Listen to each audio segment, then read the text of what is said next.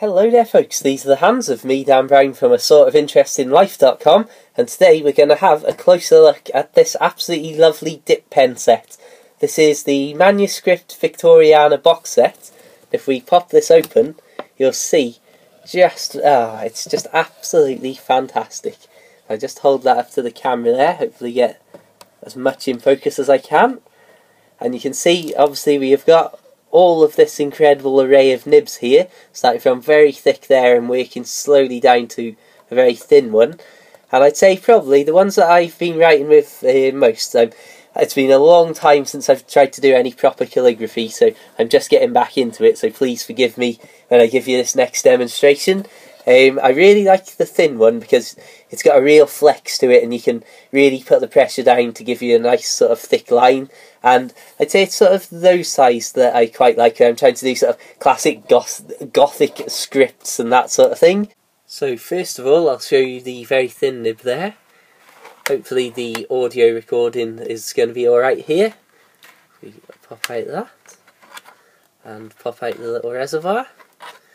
Now first things first, I will pop the nib, if I can try and fetch this into focus for you.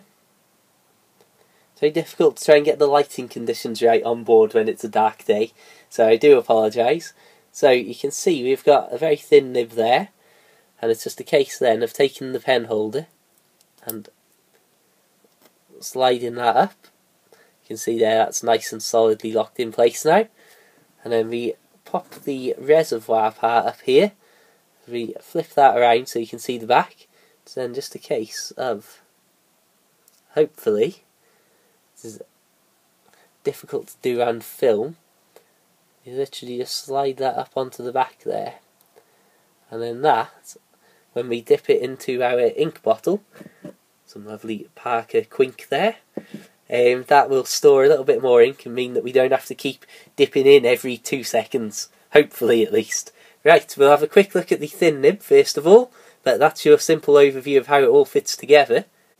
So this is going to be as simple as dipping a pen in some ink. And the trick is not to get too much on it so it all spills out everywhere. Definitely always have a bit of kitchen roll, something like that on hand. And now it's going to be quite simply just start writing, drawing lines, whatever you want to do. And what I like about this one, like I say, is because it's uh, very thin nib, it's got a lot of flex in it. So we can do some very, very thin lines if we just press very lightly. But also, if we start to press a lot harder, you can see just how much difference there is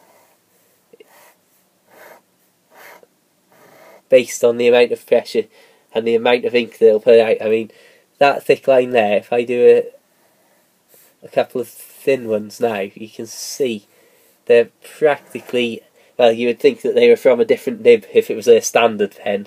And that's something that I really like about this, because it really does allow you to sort of focus the emphasis and thicken lines and just sort of play around. Because I'm only just getting back into calligraphy, it's been quite nice to have these sort of options so you can do different thicknesses of lines and all that sort of stuff on the same pen. And, well, like I say, it's just something nice to play around at this stage. But hopefully, if you stay with my videos, you will see me start to actually get a mastery of some basic skill. Um, but who knows, that could be a long time in the future. So here you can see we've got a much wider nib. If I fetch this around, hopefully so you can see there instantly just how thick that line is. So this obviously starts to make things like classic Gothic fonts a lot more of a realistic sort of, I don't know, option for somebody who's got a little bit more skill than myself. As you can see, I aborted that attempt at trying to write a little D. But you can see the basic principle here, that it's it's suddenly an awful lot easier to be able to try and do the thin parts, the thick parts, and give the sort of classic calligraphic stylings, whatever the term may be. You know, it's strange how there's some letters that I just like. For example, the classic manuscript T. I'm not sure what it is. I mean, that's a terrible example of it. Absolutely appalling example.